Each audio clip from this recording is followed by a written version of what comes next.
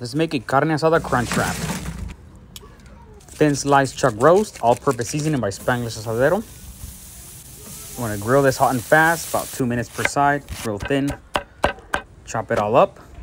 Tortilla, just warm it up a bit. Some cheese, the meat, tostada, cilantro, onion, salsa verde, sour cream, some more cheese. Warm it up until the cheese melts. It's going to absolutely fantastic. Go ahead and give it a go.